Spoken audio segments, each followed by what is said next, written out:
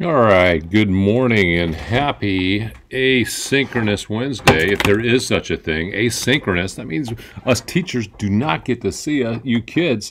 Uh, how can that be a happy day? Right? We're all missing you guys. Anyway, this is what's known as, don't tell anybody, shh, a rewarding warm up. You will see at the end why I choose to call this a rewarding warm up. All right? You do this and you will be rewarded at the end. Okay? All right. No cash prizes, but prizes just the same. All right. You know the drill. Pause it. Go try it. Come back, check your answers, or come back and get some hints, and then try it again and see how you do. All right? Okay. See you in a bit. And the bit is up. First off, let's cross off that 8. Got to know what day it is, right? All right, easy diamonds, right? 63 and 16. That's a 7 times 9 is 63. 7 plus 9, 16. And we quickly get into multiplying decimals. I realized the other day that uh, I've been doing too many decimals where you multiply one decimal times another and everything's in the tens place, so you're only moving it over two spots, which is the same number of decimals there are, and that's an easy way to get it wrong or get it right while doing it wrong, uh, which is dangerous, right? Uh, if you count the decimals, which is not what you're supposed to do, to figure out how many spaces you go back in your answer, you can still get it right. Well, that's bad news, right? So I want to reemphasize what you are actually counting when you do these, okay? So 63 hundredths and 7 and 9 tenths. I'm going, sorry, 7 and 9 hundredths, 7 and 9 hundredths, right?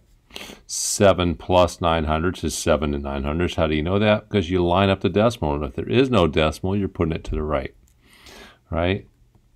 And when I go add those, that looks a little weird. So I'm going to fill in zeros. 7 is the same as 7.00. I'm allowed to do that. You add. The decimal comes straight down when you add, and that's what you get, right? When you multiply, you go 7 times 9 is 63. Now, I had to pretend there was no decimal here. Now, there is no decimal there, right? I didn't have to move anything, right? But here, to pretend that's a 9, I had to move this two spots to the right. So in my answer, I got to move it two spots to the left. That's how we get that, right? How about 8 thousandths and 42 hundredths? Well, I'm going to go 4 tenths, which is the same as 40 hundredths, and 2 hundredths, right? When I add those, line up the decimals. Fill in zeros if it makes it less confusing, and it usually does. And you get 42 hundredths when you add. make your twos better than me. And then when you multiply 4 times 2 is 8. Now here I had to move it over once to pretend there was no decimal. Here I had to move it over twice to pretend there's no decimal. That's a total of three spots, so I have to go back three spots in my answer. Fill in the egg carton, 0.008. See how we got that? Now what's going on here? Well, same idea. Two tenths this time, or 20 hundredths.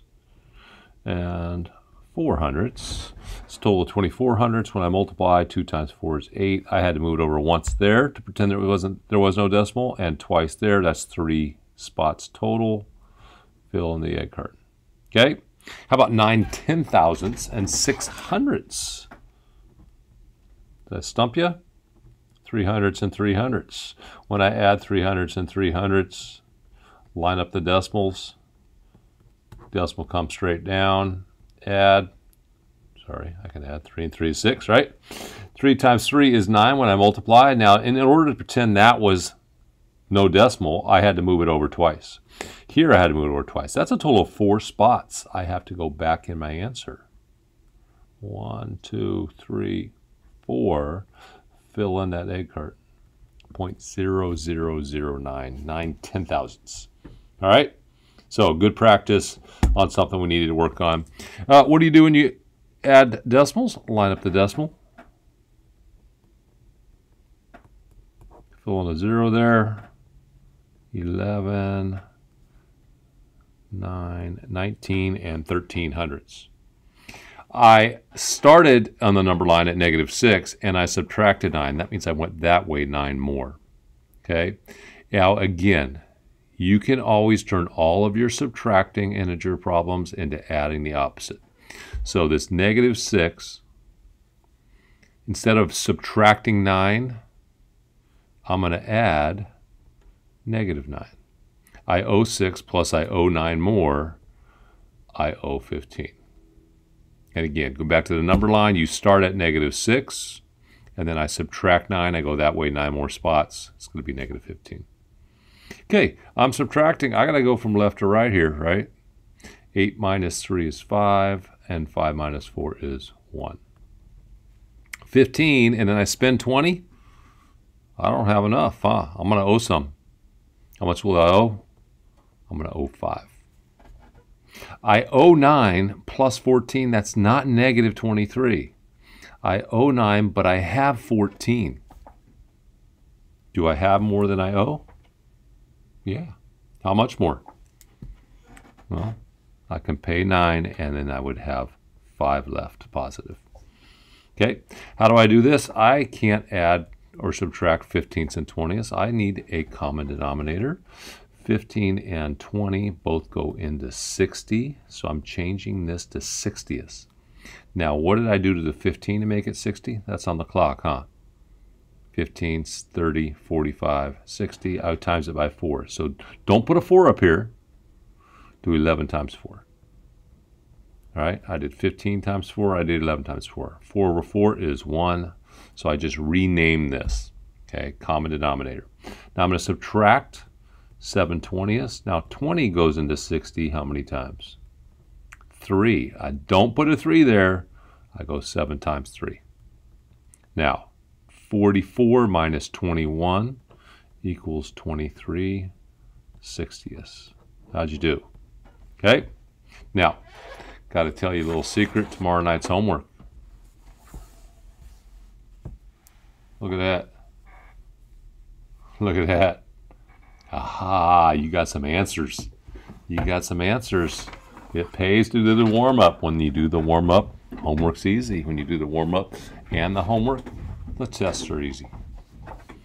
All right, that's some of the bonus you get today. 6 seventh minus 1 fourth. Let's get a common denominator. Let's go to 28ths. I did 7 times 4. I don't put a 4 there. I put 6 times 4 there. Here I did 4 times 7. And now I have to do 7 times 1 here, right? 4 times 7, 1 times 7. This is the danger one, right? Because you can do it wrong, get it right. 24 minus 7 is 17 28. Now here, 3 goes into 12. So I'm going to stay with the twelfths here. Why change it if you don't have to, right? Now I only have to change one of these, right? Now 3 times 4, so I got a 1 times 4. 7 twelfths minus 4 twelfths is 3 twelfths. Now, if this was like on a pizzazz worksheet or something, and you did that and you couldn't find 3 twelfths, but you're pretty sure you did this right, what do you do? See if you can simplify. Is there a number that goes into 3 and 12? Yeah, 3, huh? 3 goes into 3 once, goes into 12 four times. So this simplifies to 1 fourth. 1 fourth is the same as 3 twelfths, but that's the answer you're going to find. If it's like on a pizzazz worksheet, probably. Huh?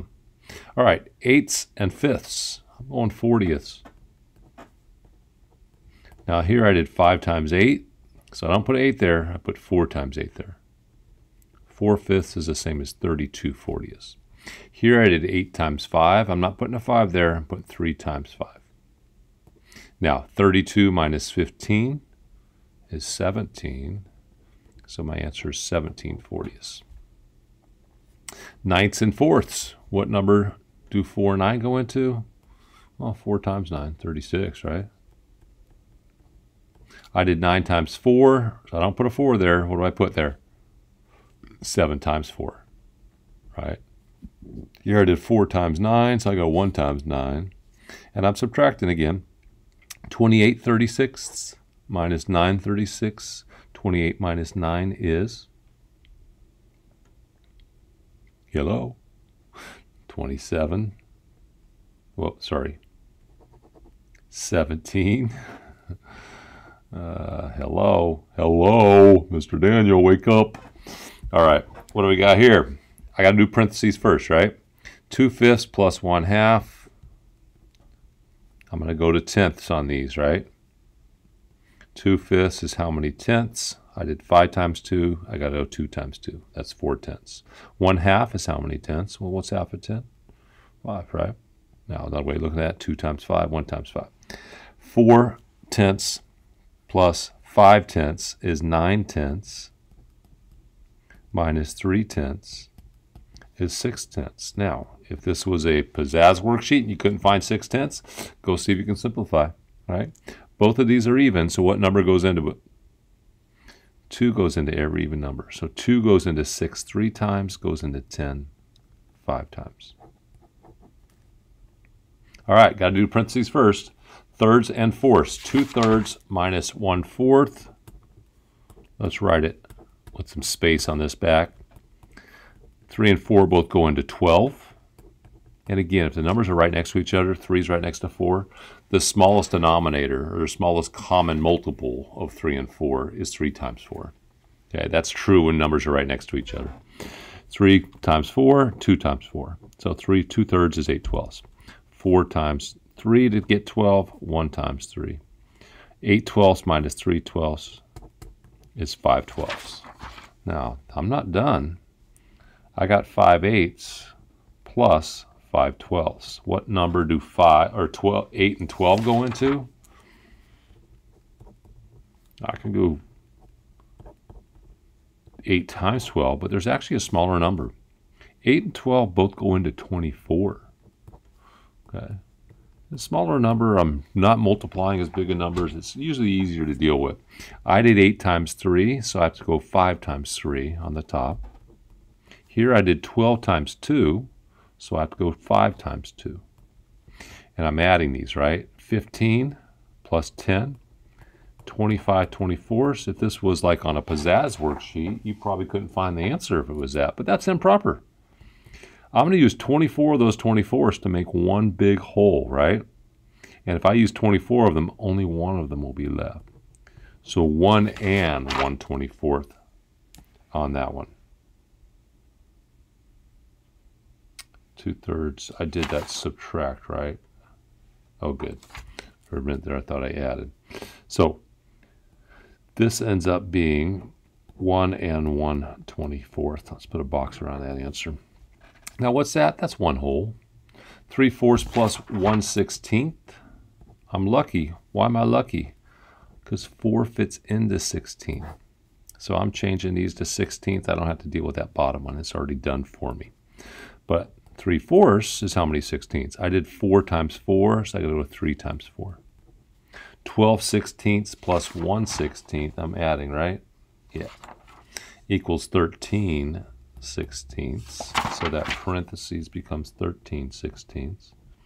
And I had one whole, or 16 sixteenths. And I subtract 13, that leaves me with 3 sixteenths. Okay?